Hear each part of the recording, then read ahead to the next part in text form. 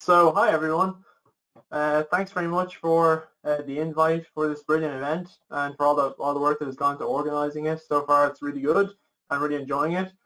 Uh, so my name is Robbie Egan, um, uh, as Rose was saying, and I'm Secondary Schools Development Officer with Green Schools Travel. And today I'm going to talk to you a bit about understanding and addressing the cycling gender gap in Irish secondary schools, which is essentially the, the whole aim of the Anti-Cyclist campaign.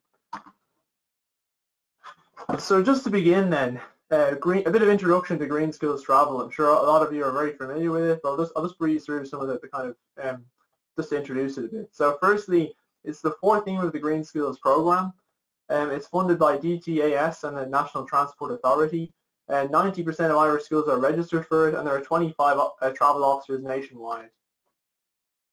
And the aim overall of Green Schools Travel is to encourage students, parents and teachers to cycle, park and stride, use public transport or carpool instead of using the private car on the school run. And just in terms of some of our activities in relation to developing cycling in particular, so we, uh, we roll out cycle parking. We conduct cyclability audits with students as well. Some of you may have engaged in some of them. We also have cycle right grants for primary schools in particular. Then we do a Getting Gear course for, for adults uh, cycling with students. We do group cycles and engage with cycle buses as well. So just a bit about the anti-cyclist campaign. So some of you might be familiar with it, some of you mightn't. Uh, so I'll just go through the origins and the aims of the campaign before I talk a bit today about the research that we've been doing. So first of all, uh, according to the Central Statistics Office data from 2016, uh, about 2.1% of 13 to 18 year olds frequently cycle, mainly to school. Um, out of this 2.1%, only 0.2% are female and 1.9% the remainder are male then. So overall then, uh, even a very small percentage, 2.1%, only 1 in 10 of those are female. So there's a massive gender gap, it seems, particularly with teenagers cycling to school. So the aim of the, the Anti-Cyclist campaign is to explore, to understand and to address the gender barriers to cycling in second level. So just some of the things we've done so far with the Anti-Cyclist campaign. so you can see there, um, Katrina Bogle, just in the, in the middle of that picture, uh, she was the secondary schools development officer before, and she worked with the, the, the, travel manager Jane Hackett, Rebecca Flanagan, Kira Norton, and others in the organisation to develop and roll out the campaign. So one of the first things that happened was pilot focus groups with uh, girls in Dublin in Dublin schools, and what was found was there were some issues to do with stigma on cycling, some issues to do with, with it being uncool to cycle as a girl, and as well issues of harassment and street harassment as a cyclist. Uh, so out of this early research, then a, a campaign was developed this involved a video, which we're going to show after this slide, uh, publicity in the form of a billboard campaign and a panel event launch, which, which happened in the Science Gallery, which, which hopefully some of you have uh, either watched or been at. and in this panel event, you can see there the list of panelists. You had um, Tara Stewart, who would be a social media influencer and, and someone who works in media, Dr. Catherine Darker, who's a health psychologist, and then two panelists who are actually cyclists in school, one of which is, a, is an elite athlete in cycling and another who actually cycles in as an everyday thing to school. So what this actually allowed was a, a kind of dialogue to happen about what causes the gender gap and what can we do to fix it, basically.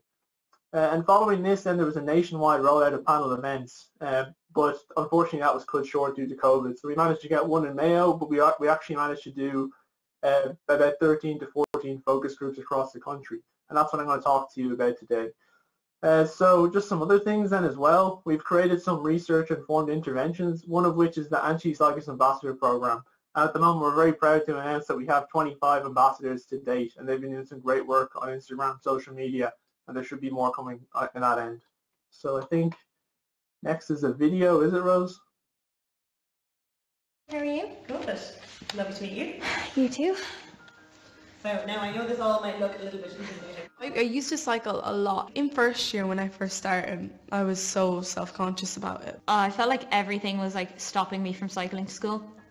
Fear of being judged. Fear of being judged by people. Loads of the lads cycle to school. They just see girls as like dresses and skirts and makeup and like boys as like oh bikes and like athletic stuff. Peer pressure is literally everything. This sounds really stupid, I really do think the helmet is such a big part of it if you see a lad on a bike, it's not really it's not really different. you just think of it as yeah. But like if you see a girl on a bike in her uniform or something, it's it's different. I feel like you just need one person to do it. There's nothing better than just like cycling and just seeing like the canal for me, like the whole like stretch along. Instead of a 30 minute walk, it was like a five minute cycle. I've completely got back into it. The way you can push yourself and then after you just feel so great. Like I don't like the fact that other girls would be like, oh, I would never get on a bike because of what they think, when like they won't ever get to experience like how it actually feels and stuff like that. You're sweaty and you look awful, but like you just feel good about yourself. Yesterday when I went for a cycle, I saw two of my old friends like on the road, and they're two boys, and like I saw them being like, like what's she, what's she doing on a bike? I just, I didn't care. Like I gave them a big smile and waved. Oh, people are gonna look at me. Like people are gonna see me. I'm like, yeah. You're your own person, you do you. I think you just you build up this mental state of like, oh god, oh no, this lack of confidence in yourself that's probably associated with other things, and you're like, hold on, it's a bike. So yeah, some uh, I'll talk a little bit about the research. So just some, uh, so this, as I was saying, this is from about 14 focus groups across the country uh, that were carried out by travel officers in the organisation. And uh, one of the kind of uh, provisional, and this, these are just provisional themes, one of the kind of major patterns that has that has come out of, of the conversations we've had with teenage girls across the country is that cycling is, is mainly seen as a boys thing as something that's mainly just for boys and that girls don't seem to have the same accessibility to cycling as boys. And there's a generally a fear of judgment with cycling as a girl. So some of the, uh, one of the kind of three main aspects of cycling as a boys thing then I'll talk about.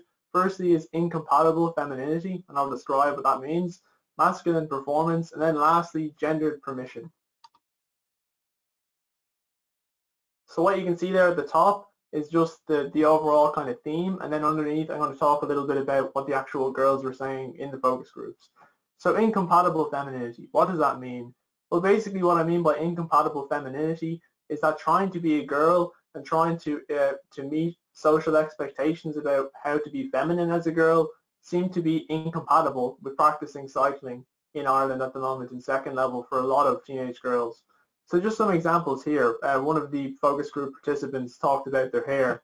So your hair is just everywhere over the helmet like, and you can't really fix it in school, like not properly anyway. So you're kind of just walking around all day with your hair just like sticking up everywhere.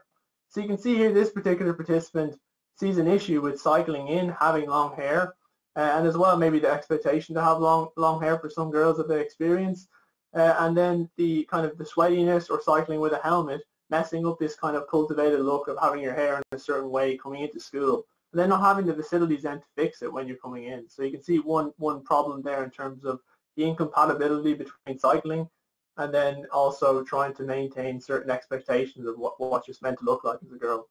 So next then, I don't think a lot of girls in school would choose to wear trousers instead of the skirt just so they could cycle to school. And it's probably too much hassle to come in not wearing a skirt because you'd have to change. I think you would probably have to come in earlier to get changed. So I think it's kind of unnecessary. so you can see here, uh, this particular participant brings up the issue of, of wearing trousers and cycling in, and also contrasts that with wearing a skirt and cycling in and the problems with, with both. Uh, so this is something that's often brought up in relation to cycling, the issue to do with uniforms. But you can see here that there's actually there's actually some problems there as well that even if you have the choice to wear trousers, some people won't wear it because they feel like it won't meet, they won't look very feminine or they won't feel like a girl if they wear them. They'll feel like more like a boy wearing trousers. So there's kind of a, a complexity there between cycling in and the, the nuisance of wearing a skirt or having to change from trousers to a skirt and then also um, the expectation to, to feel like you should be wearing a skirt as a girl. So just a little bit more here then as well. I think that like it's more like me because if I was to cycle on a bike, I think I would be self-conscious of how it looks because it looks very awkward if you're cycling in a skirt like. So you can see here, and, and the word self-conscious, I'd say a lot of people resonate with that feeling of, of feeling self-conscious if you're cycling as a girl. Uh, as whereas for boys, it maybe sometimes it's considered second nature. It's considered nothing to comment on or think about. It's just unremarkable. Uh, so yeah, this particular participant talks about how uh, she feels like she looks very awkward cycling in a skirt. So once again, you can see the problem that you don't feel like you should be wearing trousers because it might seem a bit masculine. But then if you're wearing a skirt and trying to look more feminine, it's actually very awkward. So you feel like it's a, it's a kind of dilemma about how to cycle in a way that still feels like you're meeting feminine expectations. you'll be kind of like sweaty and you'll be like not clean and it will kind of like not ruin your day, but it will kind of be like you'd be wearing your high vis, your helmet, you'd probably be wearing your raincoat and like you wouldn't be able to wear your skirt. It'd just be like ugly. You kind of look, you kind of look different, like strange. So once again, th- this idea of wearing kind of cycle apparel and cycling into school, maybe it does just doesn't look in, in a way that, that meets uh, feminine expectations or, or expectations of, of how you should look as a girl. And this is this leads to self-consciousness and it leads as well to a sense that cycling is a boys thing and, and it stays a boys thing. So just one more then to do with incompatible femininity. I think that it's a masculine thing. Why? Stereotypes, I suppose. It looks cool on boys. Sometimes older people tell me, oh, that's not ladylike. And that kind of puts it into your head. I have to act like a lady. And then you get put into those stereotypes automatically. And then it gets hard to get out of it and to do things you're not stereotyped to do. So I think this participant very eloquently gives an example of how there's certain expectations to be feminine as a girl or to act in ways that are coded as feminine. Um, and then you get put into these kind of stereotypes and it's hard to break free of them then. And that's kind of part of the problem of why cycling stays and is socially defined as a boys thing for girls.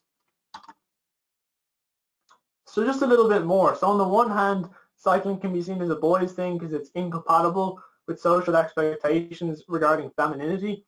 In another sense, then, uh, cycling can be seen as, a, as an actual performance of being a boy or, or, or masculinity. Uh, so I'm just going to give you some examples once again from some, some of the girls in the focus groups of how they perceive cycling. I feel like it's just like certain stuff gets pushed towards certain genders when you get to a certain age. So like that was more like so pushed towards the fellas, cycling she's talking about. But like certain other stuff that's considered more feminine is pushed toward the females. So like that's something like everyone did it in primary, but the minute you get to this age, that's more of a fella's thing. So that's moving from primary to secondary school. But that's just literally society. Same with like you wouldn't see you wouldn't really see a fella doing his hair in the morning, doing his makeup every morning. There is people who do that, but like that is something more that was more pushed towards like girls. While like other stuff was certain was was pushed towards like sports and stuff was pushed towards fellas. And you can even see that as well in the video, uh, which hopefully you can watch afterwards as well or have watched before.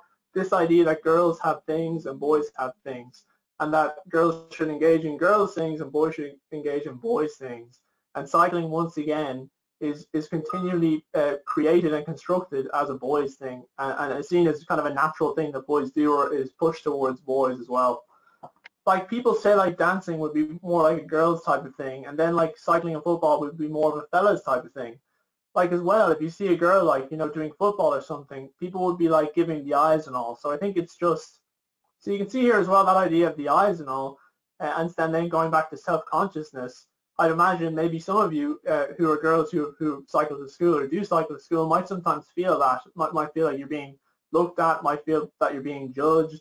So whereas if you're a boy, it's not even something worth looking at. It's not even something worth commenting on. So once again, this problem of where does the gender gap come from? Well, it seems like parts of it have to do with social expectations to do with gender. so just the very last one then is gendered permission. So uh, this is just some of the things that participants brought up in, in terms of how they were permitted to do things. May- maybe, but not definitely, different to boys. So has everyone not gone cycling because their mom dad was like, wear a helmet, and you just didn't go? So that's one example there of having, like, I suppose, mandatory helmet use uh, cycling to school. Uh, so I live close enough to, cycle, to cycle to school, but I don't because my skirt and everything will get in the way of pedals. it's dangerous cy- cycling when you're wearing a skirt you could get caught or something. And then the participant, the, the facilitator asks, can you wear trousers there? No. So you can see there, like earlier I was talking about the uniform and how you can have issues of, of even having the choice to wear trousers, but it not being seen as a feminine thing, so not being used. But then on the other hand as well, there may be a permission not to wear trousers at all. And some people find that can stop them from cycling. So just a little bit about what we've been trying to do collectively then to tackle the gender gap. Uh, so we've set up the Anti-Cyclist Ambassador campaign or program, and the aim of this is to take action to enable and empower teenage girls to cycle to school. As opposed to purely encourage, it's important to actually create the conditions where you can enable and empower teenage girls to cycle to school. So some of the objectives. So number one, to develop role models and leaders for school cycling amongst teenage girls. Number two, empower teenage girls to shape the cycle-friendliness of their institutions. And number three, provide opportunities for teenage girls to cycle. And that's what I'll conclude with. Thanks very much.